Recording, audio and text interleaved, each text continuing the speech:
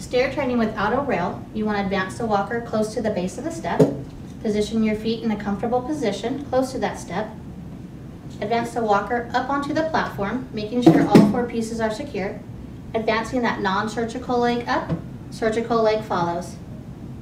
So descending the stairs, advance the walker close to the edge, position the walker onto the carpet, again making sure all four pieces are secure. Advancing that surgical leg down first, followed by the non-surgical leg.